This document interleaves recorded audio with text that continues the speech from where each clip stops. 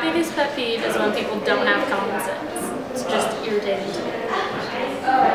Kevin Boats is my pet peeve. Um, one of my pet peeves is when people wear like beanies in the middle of summer.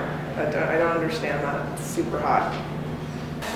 My pet peeve is when you volunteer to do, uh, volunteer someone to do something, but then in the end you end up being volunteered, and it's like, no, you wanted to volunteer someone else to begin with. Yeah.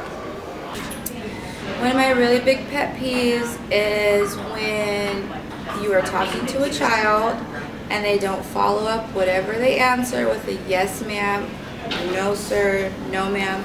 Kids today lack manners in every single way. So that's my pet peeve. And then also not putting a toilet seat down for you men. And my lid to my toothpaste is always missing for my kids or him. So that's, that's it.